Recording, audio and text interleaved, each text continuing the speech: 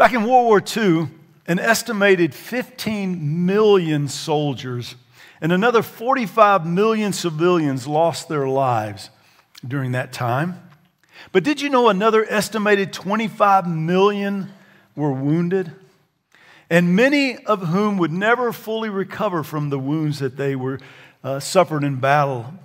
Many years ago, I, I had the pleasure of getting to know a man who was wounded in a battle during World War II. He was a, a kind, gentle man that I met while working at the Gentry shop. Uh, he was injured in a very famous battle, a battle known as the Battle of the Bulge.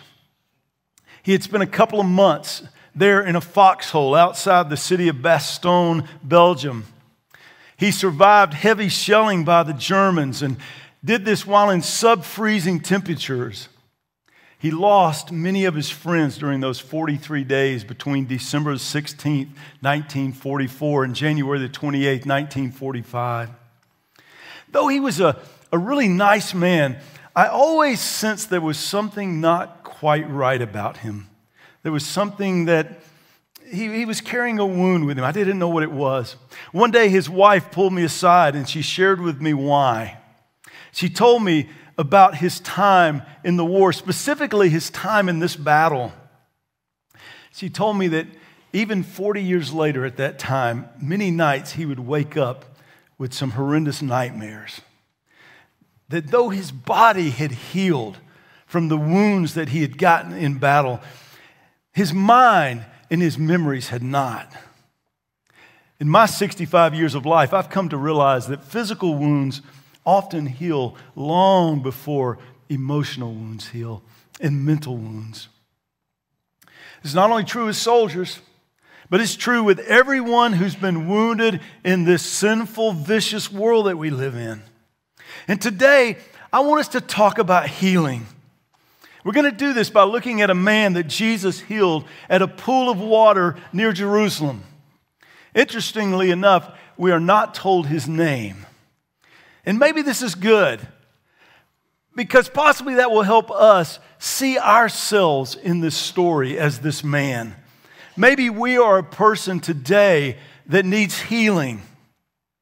This may be true that you might need physical healing, but I think probably many more of us today have wounds of other kinds. We're suffering from emotional wounds that we carry scars with us from past episodes in our lives. Others carry uh, wounds in their minds and in the way they think. Regardless, regardless of what your wounds are today, though, I want to let you know something that Jesus still heals. Let's start in our passage, John chapter 5, verse 1. After this, there was a feast of the Jews, and Jesus went up to Jerusalem. Now, there was in Jerusalem by the sheep gate a pool which is called in Hebrew Bethesda, having five porches. Now, the pool of Bethesda has been excavated today. We've uncovered it. And yes, guess what? We've discovered that there were five porches there around the pool. Or porches, think of overhangs. Overhangs that provided shade where people could lay under those underhangs around the pool and stay in the shade. And we're going to see later why they were laying there. They were waiting for that water to stir. Look at verse 3. In these lay a great multitude of sick people, blind, lame, paralyzed, waiting for the moving of the water. For an angel went down at certain times into the pool and stirred up the water. And then whoever stepped in first, after the stirring of the water was they were made well of whatever disease he had. Now, in the latter part of verse 3 and verse 4, John is probably here describing the folklore that had developed around the pool of Bethesda. He's trying to help his readers, many who would read this many, many years after the fact, to try to help them understand why there were so many sick people here. Why were there so many lame people laying around this pool? Maybe there had been some healing by this pool. Maybe God had honored the faith of a few people who were looking to Him for healing, and so He had done so. You know, God sometimes honors faith, even when it's misguided faith. But regardless, it's apparent that uh, by the number of people that are gathered there, that there were healings that took place. I believe John is intentionally sharing with us the superstitious nature of the people concerning the pool because he wants us to, to understand what superstition does. It motivates, but often it leads us down the wrong paths. Because, see, I don't think the healing that is described here in any way really fits the nature of God. I mean, think about it. Would a loving God who cares so deeply about widows and orphans and the poor and the helpless and the needy, would he set up a system that rewarded the strongest and the most connected and the most powerful? Because that's what this did. You had to be the first one there, you had to be the first one in the pool. Can you picture in your mind when that water stirred, maybe by the bubbling up of a spring or by the wind, and, and all these people, ah, you know, diving into this water? Well, that's what was happening. It, it, it seems more in line to me with the nature of God that God would work the way Jesus does here. He helps the weakest and he helps the helpless.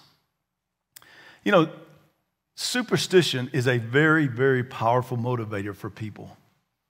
I think this is why we need to be certain that what we believe and what we guide our lives by are found in the pages of Scripture, not in superstitions that have been passed down from generation to generation. If you've ever been to a place like Haiti, boy, you see the power that superstition holds over people and how it keeps them in fear and it keeps them in misguided beliefs that keep them almost imprisoned to something that's really not true. Guys, trust your Bible. If you've got those traditions and superstitions that have, you know, carried down through your family, you need to dismiss them. You need to hold on to what your Bible says. Look at verse 5. Now, there was a certain man there who had an infirmity 38 years. When Jesus saw him lying there and knew that he had already been in that condition for a long time, he said to him, Do you want to be made well? Now, we don't know exactly how old this man is, but we do know that for the past 38 years, he has experienced this disability that has kept him around this pool. Whatever the root problem that caused him to be paralyzed, again, we don't know. But later, Jesus will indicate that maybe that problem that he had that caused him to be paralyzed was because of something that he had done in his previous life or in his, earlier in his life. But for whatever reason, Jesus locks in on this man. Now, I wonder why this guy. What was it about him? We, we don't really know. Maybe it was the length of time that he had been there, and Jesus just looked at him and thought, oh man, this guy's been here too long. Maybe it was Jesus sensing in him a, measure of genuine faith that he was looking to the Lord. But we, we really don't know why. But for some reason, Jesus picked this guy. Maybe this is just an example of God's amazing, undeserved grace.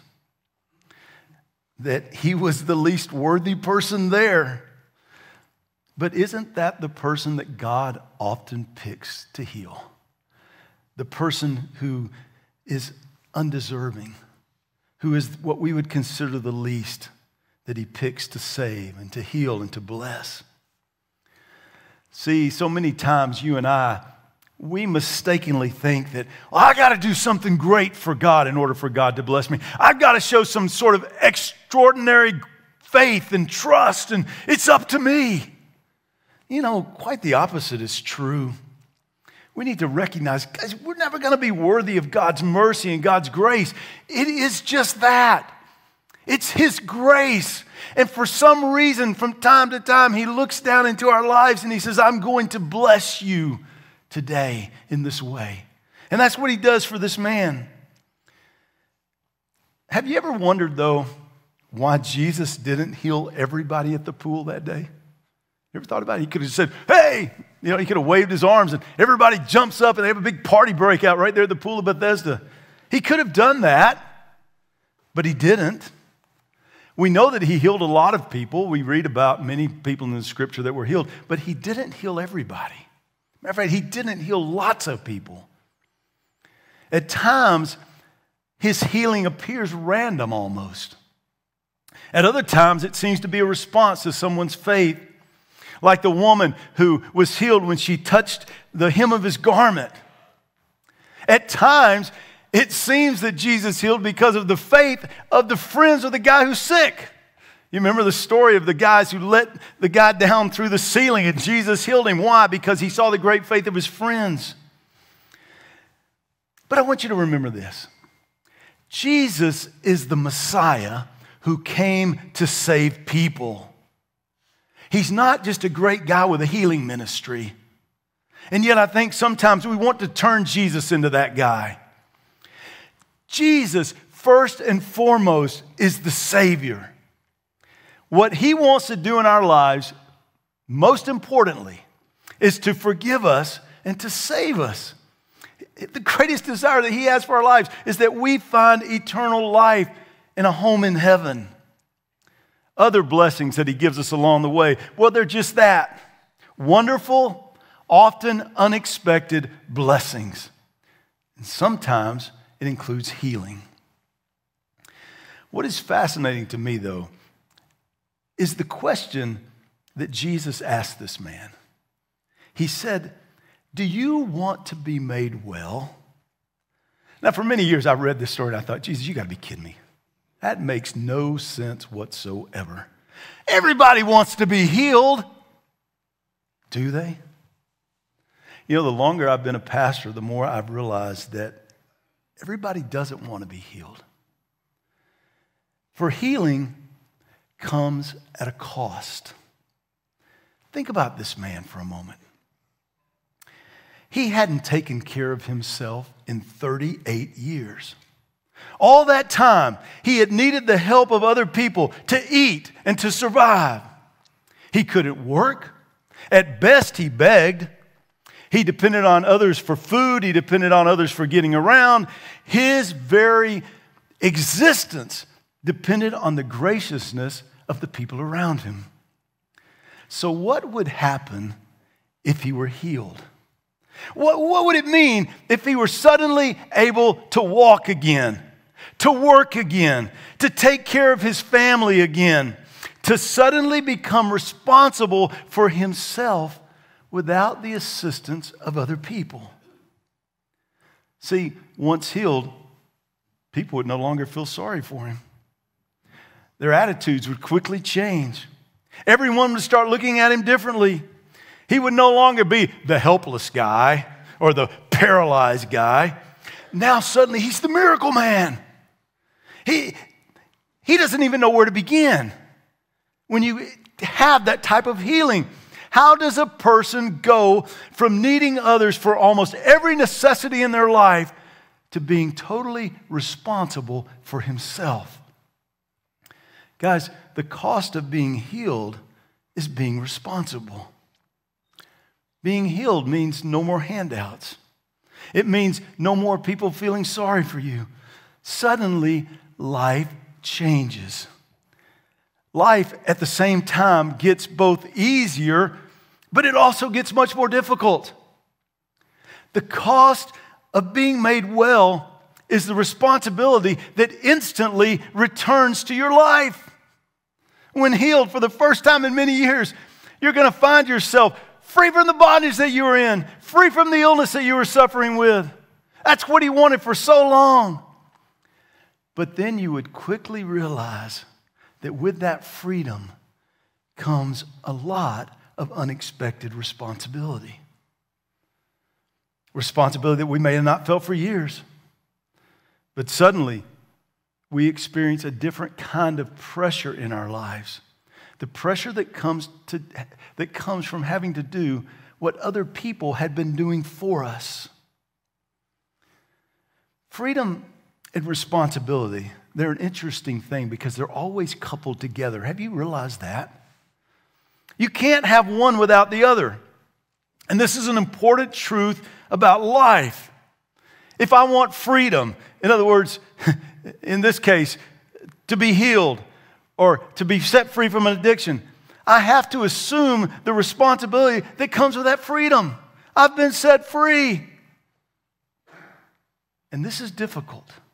This is not as easy as it sounds. See, for many people, it's easier just to keep yourself in a place of dependence on other people for certain needs in your life. They can be emotional needs, they can be physical needs. But it's easy to kind of stay there and say, you know, I'm, I'm comfortable with this. But you need to remember, with that dependency on other people, there comes a loss of freedom. It works this way if I take from another person, I'm giving to them the right to speak into my life. In other words, by making yourself dependent on another person, I'm giving them the right to speak into the decisions that I make. I'm in some way turning part of the autonomy of my life over to that person. this is the lesson that every parent needs to teach their child, their children. That if that child wants freedom, they've got to be willing to handle the responsibility that comes with that freedom. See, here's how it works.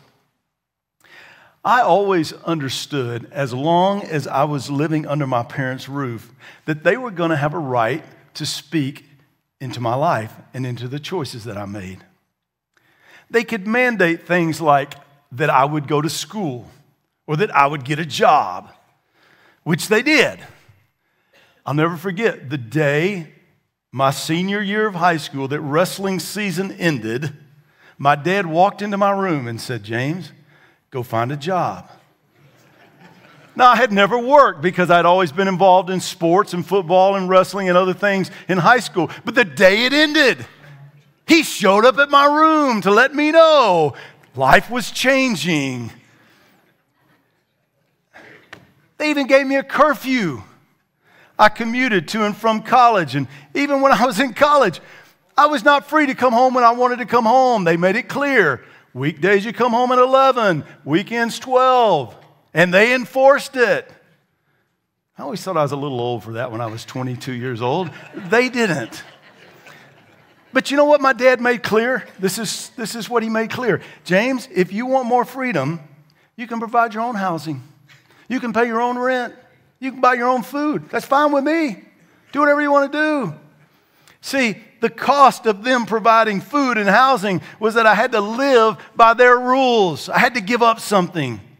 There's always a choice. How much freedom do I want? Well, how much responsibility am I willing to take? For this man, healing meant freedom.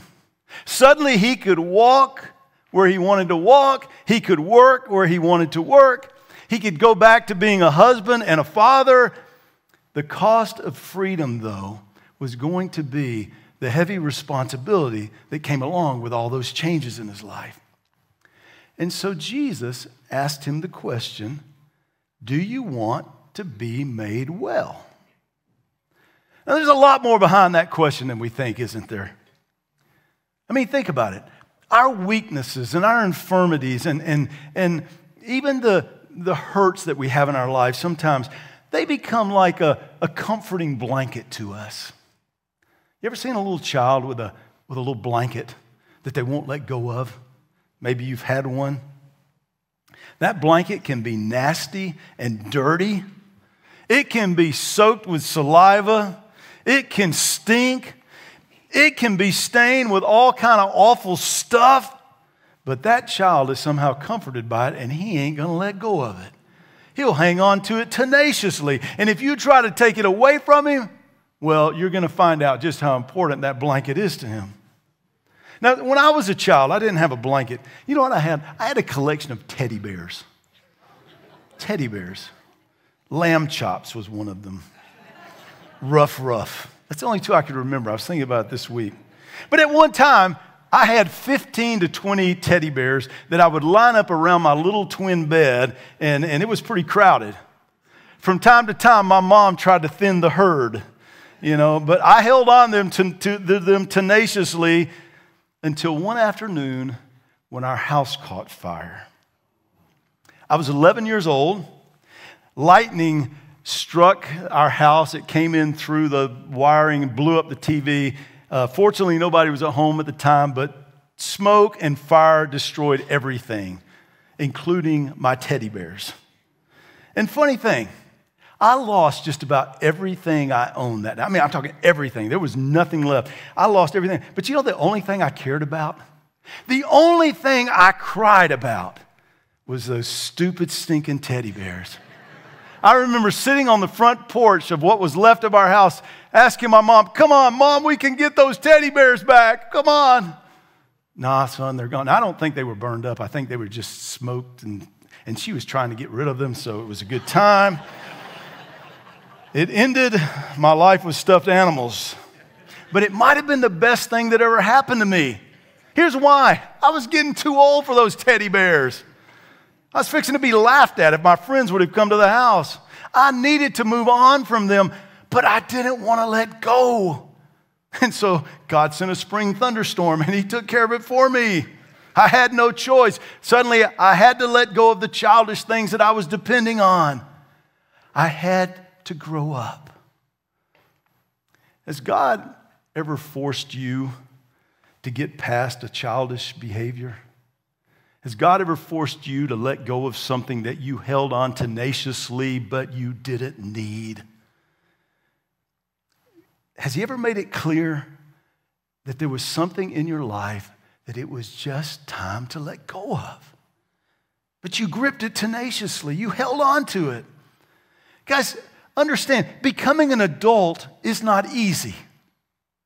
The responsibility of adulthood is a heavy burden to carry at times, but we've got to be willing to shoulder that load if we're going to mature in our walk with God. If we're going to get up from being little kids and start being adults. So, has Jesus ever asked you the question do you want to be made well? Have you ever considered the cost of that healing? Let's look at how the lame man answers Jesus when he asked that question. Verse 7 The sick man answered him, Sir, I have no man to put me into the pool when the water is stirred, but while I am coming, another steps down before me. Now, he didn't really answer the question, did he? No, his attention is, is so focused on what he saw as the excuse me, the only solution to being healed. That's what he's focused on. He's got to get in that water and he's got to be first. His healing was tied to that pool, and getting in that pool had become impossible for him. See, his pathway, that what he saw God could do was very narrow. It was that pool, it was that water, it held the cure. So, in answer to Jesus' question, he simply points out the problem. He said, I got nobody to get me in there. I'm, I'm thinking he's about to say, Jesus, can you help me? You know, how strong's your back? Has that become your problem as well, though? The only answer that you see to finding healing and help, the only answer that you've found seems elusive and difficult and, and almost even impossible. See, because like this man, you've limited God's ability to your ability. The only solution you can see, you think is the only one that God can see. But what if Jesus said, I've got a different way for you, I've got a different path for you? What if he came along today and said, Do you want to be made well? Can you believe that the answer might be found in something that you haven't seen yet? That Jesus didn't need the pool of Bethesda to heal this man, and he doesn't need what you think you need to be healed? Jesus wasn't limited by this man's narrow beliefs and understandings. This man was certain that no healing could happen unless he understood how God could do it. And in his mind, the only way God could do it was to shove him in that water. In other words, he limited God's ability to his own abilities. If he couldn't figure it out, there just wasn't a solution. Now, think about that for a minute. Isn't that so often how we approach our problems? We limit God to our understanding of things. We only trust God when we can look and say, okay, I can see how He can do it this way. Oh, okay. I'm, I'm trusting the Lord because I, I figured it out. But what if God's not going to work that way? What if God's got a whole different way that He's going to, about, going to go about doing it? Can you trust Him then? This guy was about to learn an important lesson of faith. He's about to see that God isn't limited the way he thought he was. God doesn't have just one way to solve any problem. And he certainly doesn't just have to do it the way you've got it figured out. Look at verse 8. Jesus said to him, Come, I'll help you in the water. No, that's not what it says. He says, Rise, take up your bed and walk. And immediately the man was made well, took up his bed and walked. Now, note the three commands of Jesus here. First, he says to him, Rise. Jesus was asking this man to do something that he didn't think was possible. I think I hear in those words of Jesus, just try one more time. But I hear in the response of this man and in so many of our responses, I've tried. I've failed so many times. It's useless to try again. But Jesus is saying, hey, try one more time, but this time try trusting me to help you. Together, we can accomplish what you haven't been able to do by yourself. I'm not saying just, Jesus isn't saying just try it again the way you've always tried it. Just try to break that habit the way you've always tried to break that habit. Just try to break that addiction the way you've always dealt with that addiction. No. I think Jesus is saying to this man, Look, look at me. You and I together, we can do this. You can rise with my help. Yes, on your own, it's proven impossible. But together, we can do something that you haven't been able to do. Look at what he says next. He says, Take up your bed. And now it's interesting. His bed had been the companion of his sickness all these years. I mean, it was, it was the single thing that he probably had with him the whole time. He had rested on it, he had found comfort in it all these years. By picking it up, he is declaring freedom from that bed.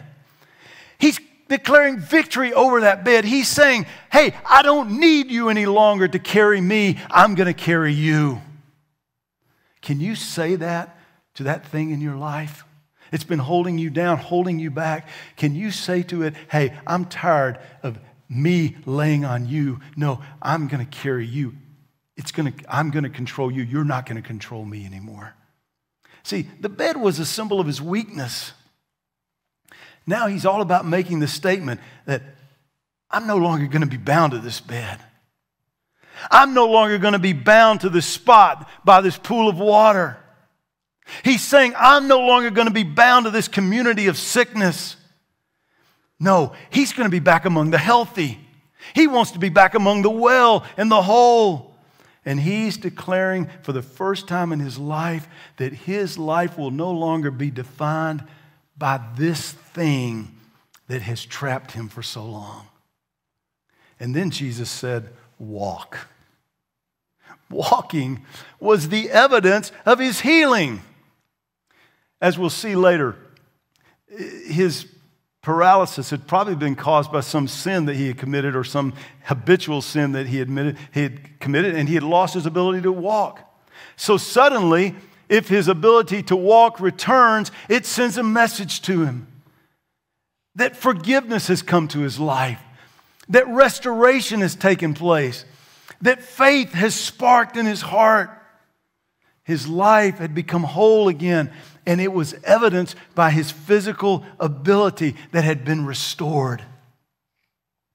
Now, please know this, and I want to make this really clear. Most sickness and disabilities are not a direct result of some sin that we've committed. Okay? Do, we all know that? We, we live in a sinful world where there are germs and there are diseases and people get sick and accidents happen to innocent families every single day. But there are times when our own sin leads directly to some kind of physical problem. We, our addictions, our sinful habits, they can wreak havoc on our body. But notice, there are also times when our spiritual healing brings along with it physical healing instantly. Not always, but sometimes. I had a friend many, many years ago that I worked with who was just a major league drug addict. And uh, he got saved. And that afternoon, when he got saved and walked off that dock where he was sitting when the Lord touched his life, he never again touched another drug. God just took it away. Now, is that how it usually happens? No. Trust me, that is not how it usually. That's how it sometimes happens. That's how it happened to this man. By walking away from this place and this moment, he's walking away from his old life. With the help of Jesus, he wasn't going to be that same man again.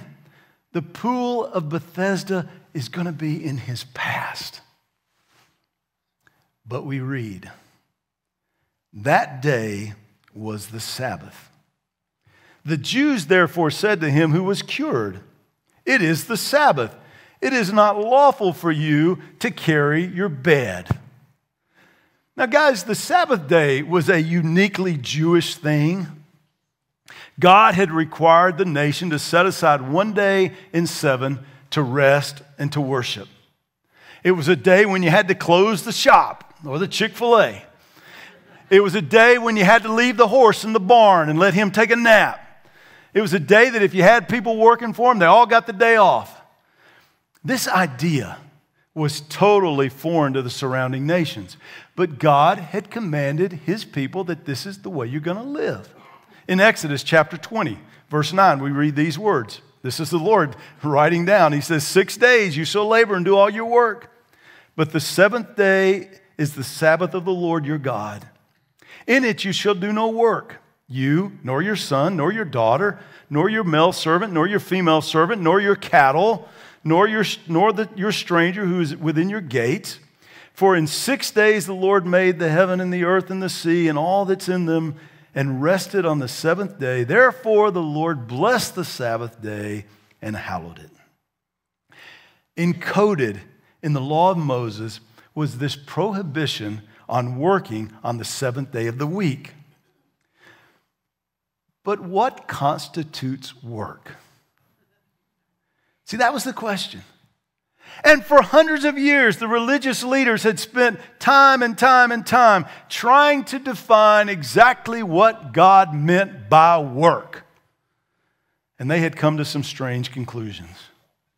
But see, in doing so, they had turned a day that God intended to be a blessing into a day of turmoil and confusion for the people. The Jews had made list after list of things you could do and things you couldn't do. It had all turned the Sabbath day, a day of worship and celebration, into a day of imprisonment for the people. See, the people got so distracted by trying to determine, oh, what's okay to do? What's not okay to do? They didn't have any time to rest. Their, their worship was discouraged. This story is a classic example of how misguided leaders, or how misguided the, the leaders and the people had become about the Sabbath day. See, I have no doubt that these guys knew this man. They recognized him. It wasn't like Jerusalem was a big city, it wasn't that big. And this guy had been there for 38 years. He was probably a pretty well known beggar to them. And now, for the first time in 38 years, he's walking around. And yet, they totally missed the miracle. Isn't that amazing? All they see when they see this guy is, you're a lawbreaker, carrying your bed. See, they had decided that carrying your bed broke the Sabbath day. Now, God didn't decide that, they decided that. Now, if you want a working definition of what legalism is, I think we get it right here. Legalism is when you stop seeing the amazing grace of God all around you because you are blinded by your own requirements that everyone follow your mandated rules. In other words, you've lost sight of the good things that God is doing in your life because you're so consumed with, I got to follow this rule. I got to do this. I got to do that. I can't do that. Oh, got to definitely stay away from that. And not only that, but you're looking around at all your friends and you're saying, you need to stop doing that. And you need to stop. And well, you can do that because I can do that. We can do that, we can't do it. I mean, how many Christians do you know that that's how their life is lived? They are so worried about what they can and can't do. Their life has become nothing but following rules and trying to decide is this okay or is that okay? Do you not think God can let you know what's okay and what's not okay? Can, can we just learn to rest in the grace and mercy of God and just say, Lord, if I got a problem in my life, let me know. Other than that, I'm just going with it. Okay? Now, I'm not trying to say that the Bible doesn't set limits on our behavior. Sure, it does. We all know that. And those aren't the things we worry about. But I am amazed at how people can get on tangents. Well, this is wrong. I think this is wrong. It may be wrong. I know somewhere, sometime in the past, somebody told me it was wrong. And, and, and uh, what are you worried about it? God can let you know what's right and wrong. I love this man's answer to these guys. Verse 11 He answered them He who made me well said to me, Take up your bed and walk. Then they asked him, Who is the man who said to you, Take up your bed and walk? But the one who was healed did not know who it was, for Jesus had withdrawn, a multitude being in that place. I love what he tells these guys. He basically says this Hey, I'm just doing what the guy who did the miracle in my life told me to do. You got a problem with that? Now, let me ask you a question. If you had been unable to walk for 38 years and someone comes along and heals you, are you going to question what they ask you to do next? You can best your last dollar. You're going to do exactly what they say to do. Okay, carry my bed. You got it, boss. I'm carrying my bed. Now, here's the pressing question Did Jesus ask this man to break the Sabbath law? Absolutely not. Did he ask him to break their interpretation of the Sabbath day? Yes, he did. See, I think in this healing, Jesus is trying to kill two birds with one stone. First, he's proving his power over sin and sickness by healing this guy.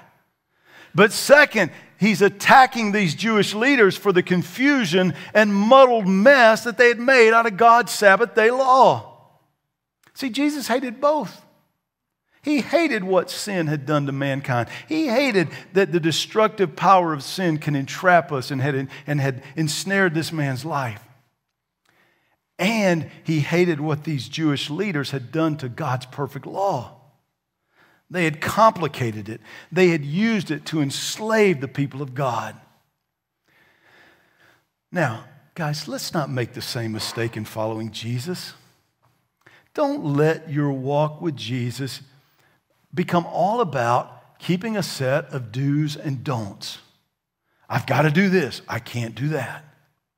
Let, me suggest to you why not try, why not just wake up every morning and let the first thought that comes to your mind be this wow, God's mercies are new today. God is gracious today. He's given me another day. Okay, Lord, it's you and I. Don't you think God can let you know the things in your life that He wants to clean up? Absolutely. You don't have to go searching for them. I've found. I've found that when God's ready to deal with something in my life, He's, we're going to deal with this. Okay. Lord, I'm trusting your grace on this one, okay? It's not going to be easy. Stay focused on what matters. Stay focused on his mercies that are new every morning. Jesus had one more task to do before the day was done. Look at verse 14. Afterwards, Jesus found him in the temple, the man who'd been healed, and said to him, See, you have been made well. Sin no more, lest a worse thing come upon you. The man departed and told the Jews that it was Jesus who had made him well. Now, I love this. I love reading. Jesus went out and found this guy. You know, he's wandering around. You where is he? Where do you, I'm going to go find him. See, for Jesus, healing wasn't enough. Healing wasn't the end game here. Jesus healed the man in order to save the man. Guys, this is the way healing is always about. It's what it's always about in our lives. It, it, it is about drawing us closer to Jesus. This is why Jesus works in our heart. This is why he helps us get beyond things, because he's drawing us closer to be a better follower. When God does a miracle in your life, guys, don't miss the purpose of the miracle. Don't miss the purpose of the healing. It's so that you can grow closer to your Savior. That's why he does it. And this is why Jesus does every work, good work in our lives. But notice Jesus' closing message to this guy. he says, Sin no more, lest a worse thing come upon you. Now, it's clear from these words that Jesus is connecting some sin or sinful habit that this guy had been involved with with his paralysis. He's connecting those two things. And so he's telling him, as you're moving forward in your walk with God, don't go back there. Don't get caught up in sin again. He's not telling the guy, you're going to live this perfect life, a sinless life. He's not saying that. He's trying to tell the guy, look, you're going to make mistakes. You're going to sin again. Just don't let that sin get another foothold in your life. See, it's one thing to commit a sin, but it's another thing to become a slave to that particular sin when we do it over and over and over again, when we give into it. See, in the past, something had been a stronghold in this man's life, and he paid dearly for it. And Jesus is simply saying, hey, don't let it become a stronghold again. Don't go back there. Because the results of the stronghold had been sickness, disease, and Jesus was trying to save him from that. Now, let me close with just a word of application from this study this morning. There are probably a few people here today that need physical healing. And maybe, we never know, God might want to do that. But I think there's far more people here that need more than physical healing. They need something in their life dealt with that's hurting them down deep inside. It's probably not a physical issue. Could be an emotional issue, could be something going on in their mind, a thought life. See, physical wounds are easy to identify, they're easy to talk about. But you know, emotional wounds and scars run much deeper, much more difficult to deal with. Let me read you a quote from Dr. Mark Rutland's book, Courage to be Healed. There he says, You can be saved you can be filled with the Spirit. You can love Jesus. You can read the scriptures. You can experience God's grace in a thousand areas of your life. It is still possible, though, with all this being true, that you might have some toxins in your soul ruining your life. Here is the all important and yet oft misunderstood truth salvation does what it does. It forgives us of our sins and puts us in a right relationship with an eternal God. It does not make us perfect. It does not heal all our hurts or all the unexplainable behaviors that we are, con- that we are due that are contrary to what we believe. It does not necessarily make us whole. It may not resolve our every inner conflict. It may not heal our every twisted memory. But then he goes on and he says this there are five great sicknesses that can live on in every believer who has been wounded by this sinful world shame, unforgiveness, rejection, condemnation, and fear. Can you relate to one of those? You felt those in your life before? I have a feeling there's a lot of people here today that have an open wound of one of these. And maybe this study's been just for you. See, you too have been laying on your blanket beside your pool of Bethesda, that lonely place where you hide out. Your life has been paralyzed by shame or by fear. Maybe you've been infected by the rejection of other people, or even worse, their condemnation.